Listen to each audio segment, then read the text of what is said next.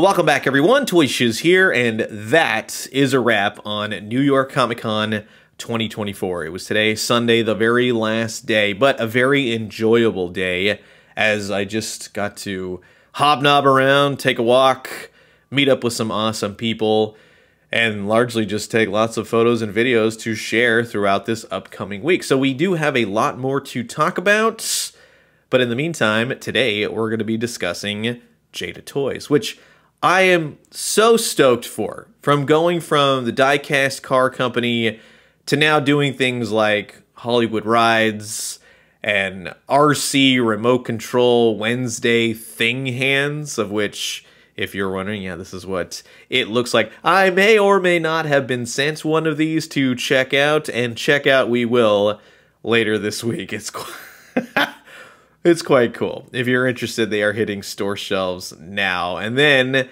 they also do big time sort of RC cars, if you're interested, like the Back to the Future DeLorean, which is pretty darn cool. I like that the antenna is the rod that has to catch the power line. That's that's pretty cool. The people that work at Jada Toys, when you talk to them at conventions like this, they're always so joyful and they're just having a blast telling you about the products. For lack of a better term, I could just call this the Fast and the Furious Godzilla mobile, but it's a really a 2009 Nissan GT-R. And I totally did not know the name. I had to look at the placard and write it down. But yes, Jada does more than just diecast cars because they also do things like these nano scenes, which in this case, the weekend was definitely devoted to the Ghostbusters. Hasbro did their HasLab, and then Jada had their Ghostbusters Con exclusive. I'm pretty sure this is not going to be available in the sense of being online to grab. This is a convention exclusive. And so I would say that going forward for the immediate future, any convention coming up that Jada will be attending, you could probably look for this. So that's pretty cool. It comes with a lightly toasted Stay Puft Marshmallow Man. He is roughly around the six, six and a half inch mark, which evens out for a very, very teeny tiny diecast Ghostbusters Ecto 1. You have the street, of course. You have the firehouse. You even have a church if he wants to step on it. So you kind of have all these cardboard backdrops. It makes up the city, makes up the nano scene. You get it? And it's pretty darn cool. Is it for me? No, it's not for me, but it's definitely for some of you Ghostbuster fans out there. So from the Jada Next Level, which is kind of like their upgraded sort of model on different various items that they produce, very cool artwork too, by the way. That box really does stand out. It's more of like a slipcase cover, but like I said, if this is something for you, if you didn't grab it at New York Comic Con coming up for any convention that you can find Jada at, they should have more of these available. And with that, we are going to be getting into Scooby Doo, of which we have seen these revealed at San Diego Comic Con 2024. But now we got a packaging reveal, and I really love the foggy plastic in the front. That's intentional. They're going for that mysterious mystery of Scooby Doo. Of course, this is Shaggy Norville Rogers. I know my Scooby Doo lore. He comes with an extra head portrait, he comes with extra hands, and he looks pretty darn cool. This is the Mummy Man, of course. Now, I will say this. I know which character they're going off of. For me, in kind of looking at this, he looks a bit bland. Just, he's missing a little something something. Perhaps when we see the accessories, like I'll be talking about in just a second, Perhaps that will amplify it. But just as he is right now, it leaves a little bit to be desired, in my honest opinion. When you look at him next to, let's say, the very expressive Scooby-Doo and fellow Shaggy Rogers, yeah, it's the colors and everything else. The Mummy just kind of lacks a certain something. But again, we'll see it all kind of put together when you start to collect in.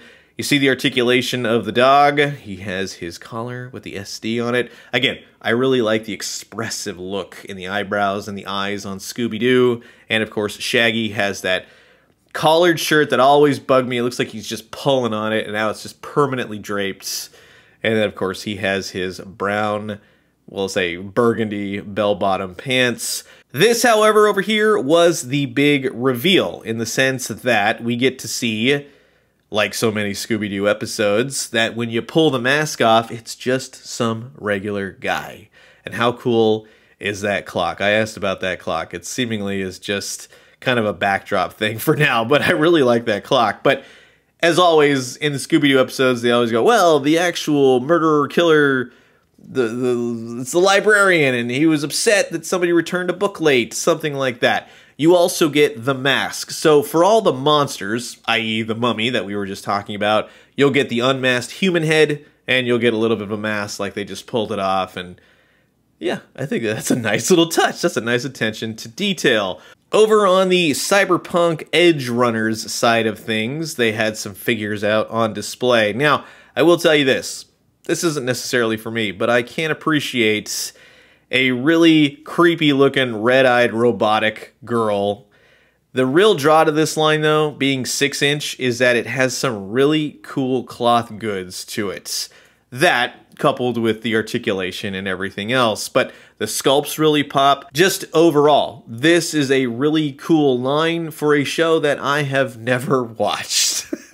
But in all honesty, and kind of talking to the people at Jada, they go, oh yeah, there's a, a season two that's already on its way. So I said, all right, enough said. I will definitely check it out and see what the big dealio is. But this pose in particular, I really liked the way that this was. It's creepy. It's weird. She's got like this yellow coiled rope thing coming out of her wrists or underneath her forearm kind of thing. It's cool. It makes for some really eye-catching robotic people. So if you're anything like this guy, like, hey, who's got one robotic thumb and looks good in these black and red sunglasses? Yeah, you know the answer to that. Again, the cloth goods really work with the angular nature of all the cybernetics, all of the armor, they would say like the real anime comic book armor. It's a pretty solid, cool looking line if this be your thing. And then another big reveal, continuing on with their cereal mascots line, we have the six inch Fred Flintstones. Who wants the Flintstones vitamin? Everybody. That was the first thing I thought of. I'm like, oh yeah, remember those? Now, if you know Fruity Pebbles, yeah, you know Fred Flintstone. The colors on this are great. I love the bowl of Fruity Pebbles. He's got his bare feet. Seemingly holds the bowl really well. That looks pretty cool. And I love that he comes with the stone spoon because everything in the Flintstones universe was practical, if you think about it in that way. Each of these figures will come with their own little mini box of Fruity Pebbles. That's pretty cool. So Fred and Barney can have adventures into the sunsets, right? And this same kind of packaging overall that we've seen with their cereal mascots. Nice bright red. It looks like a box of cereal. It's even got post on there, but it's for 13 plus. So this cereal may not be for you. But like I said, what's a Fred without his Barney? So we're also getting Barney Rubble. Everything was a pun back then in this yeah, everything was a pun back then in those Flintstones eras. Also, cigarettes. surprised they didn't come with a pack of cigarettes for Fred Flintstone. I'm surprised they didn't come with a pack of cigarettes for Fred Flintstone. But again, we're going with Cocoa Pebbles for Barney Rubble. He's going to, of course, come with the box of said cereal, which looks pretty cool. I like that it's really nicely printed, and it should be one of those where it perfectly scales, as you can clearly see, with the figure. So Barney looks to be just a tad shorter, as he should be, than Fred Flintstone. He has his little stone bowl full of Cocoa Pebbles, and he too has the stone spoon. I like the expressions on these, although I will say Fred Flintstone looks a little bit too harsh, a little bit too mean. Perhaps we'll see maybe an extra head porter or something like that, but in the case of Fred Flintstone, if I'm being honest, I think Barney looks good, but Fred looks a little too angry. He's supposed to be angry, but not angry all the time. And then we have some Mega Man updates. Really just kind of seeing figures that we've seen on display before, but I can't tell you how much I'm enjoying this line as well. Again, Jada is really able to capture, and I guess I could say, like the anime expressions, the big wide eyes when they're jumping or moving or it's just very expressive and it's really brought forth with the movements of their mouth, with the way the eyelids kind of curve.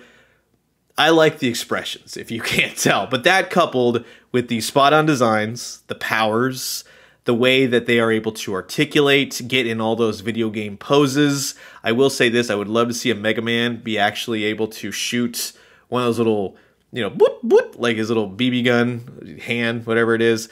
The unmasked Rockman slash Mega Man, he looks pretty darn cool this little robot thing that always peeked out and shot the little bombs when you're least expecting it. Thanks a lot for that. He became like a little character anyways, but screw him. He's a jerk. Proto Man looks good. He has a cloth goods scarf. He's got his little shield to him. He's got that little smirk. Proto Man is always just so cool. He knows he's cool too, right? Then you have this version of Mega Man, but because it's getting late, I'm just going to be calling him Penguin Mega Man. But that's not his name, and I know it's, but he does look cool. And you will probably see a lot of variants of Mega Man because it really lends itself with the different powers and it's just simple swap outs. The penguin that, if I remember correctly, I don't think it slides. I'm thinking of Mario, but that's the one that flies and he drops the egg bomb and it turns into a thousand little monster robot things. I remember that. Then you have, what is it, Snake Man? It's been a long weekend. But again, you see the expressions, the helmets, everything makes this robot master look terrifying. And I love that. I love his hand, just how have the angular kind of tips of the fingers. His blaster is cool. His armor stands out. You have Woodsman, Woodman, whatever it is. he looks like a tea kettle on the side a little bit. But again, part of him is wood and part of him is robot. What a miserable existence, right? If termites were to get in, there's no defense against that. Now, of course, without a doubt, this is Cutman. He looks great. And I always loved in the video game when he pull the little scissor top off the top of his head and throw it at you. That was pretty cool. You got the bomb throwing Mega Man. He looks awesome too. I love the bomb. See, having that power on the stand, it, it brings the characters to life. That's what's missing for Marvel Legends sometime. Fireman, he's over in the corner. We already talked about him, but you get the idea. The Mega Man line is looking oh so stellar. But I know the majority of you are probably here to check out some Street Fighters. And Again, it's going to be largely characters we've already seen before. Characters like Fei Long, Dee Jay, who's I believe actually hitting off in Malaysia right now. I think there was a Comic Con out there, so you could actually pick him up. They had limited numbers of him. And for a split second, as I walked up to the Jada booth, I thought, oh my god, that's right. Do they have Dee Jay and Cammy and all that for sale? And I go, no, it's it's the other convention. Dang it all. But yes, I'm actually a big fan of what they're doing here, but I like to pertain it to Marvel Legends. I always liked Marvel versus Capcom.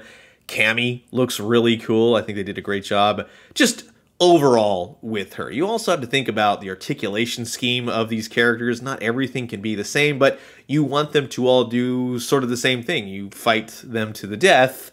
So with T-Hawk here, I like, again, the expressiveness of his face. It's kind of neutral, but at the same time, it's just all kinds of cool. So he's kind of propped over there. He's got the bands on the arms. He's got that belt. looks pretty cool. Sagat looks awesome. He's got the eye patch. Get an eye patch, right? Just as David Bowie would say. He's got that big gnarly scar, the wrappings on the hands. He looks menacing. That is a great just great overall sculpt for this character. The colors make him pop on his shorts. He's got the wrappings on the feet. Dhalsim, who I've yet to take a look at. I do have him. I think he's an amazing figure, although I do wish that the feet on the extendo legs were articulated so you could have him standing with those on. Then you have Vega, which yes, he will come with his mask. He's got the big old snake tattoo. He's got the Wolverine claws. He too has some cloth goods going around his waist right there for his sash. Yeah, overall. See, you see the eye, like it's it's very very expressive. Like you know what that character is thinking. And then with Balrog here, it's the same thing. The missing tooth. Everything really lends itself not to like a cartoony sort of styling, but more in that anime style. It's not overly cartoon, like kids cartoonish, but it definitely has the elements of, yeah, that's just a very cool look for that character that punches you to death with boxing gloves. M. Bison, that's a dang good figure, if you ask me. I love the cape on there, and I love that it came with instructions on how to alter the cape from on to off mode. These two we already know about. In fact, uh, they're just they're so yesterday at this point. E Honda, I did joke and I said, you know, is E Honda going to come with a car to destroy?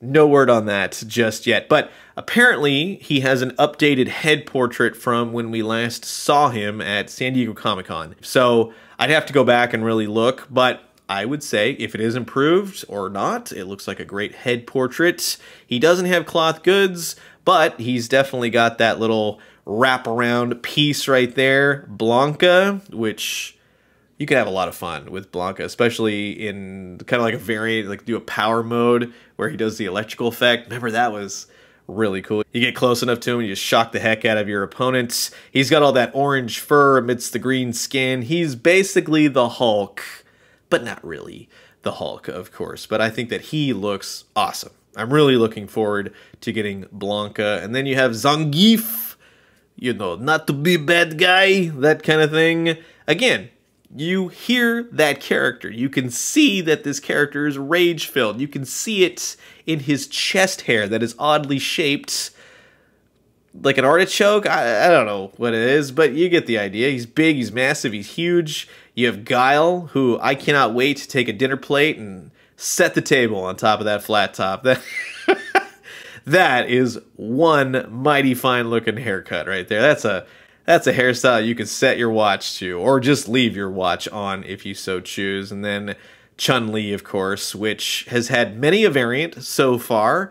She's a great figure. If you're interested in getting Chun Li, Ryu, or Ryu, whatever you want to say, or Ken, M. Bison, Dhalsim, highly recommend all of them. They look great. And then, of course, at the top, we had some Akuma action, which he looks really cool. I have to say, they really went all in on that one. It's nice to kind of see him up close. He was turned around at San Diego Comic Con, so I'm really looking forward to Akuma. And then you have Angry Ken and Evil Ryu. So we've already seen those, but all in all, it's a pretty impressive showing for New York Comic Con for Jada Toys. So that will be my roundup of their booth. Again, thank you to Jada for walking me around. You know who you are. I really much appreciate talking with you, and I'm going to leave you guys with that. As always, drink some great coffee, eat some great food, but most importantly, remember, when it comes to Jada, they're rocking it. And you can clearly see they are rocking it. When they do, let me know what you found. I'll talk to you guys soon. Adios.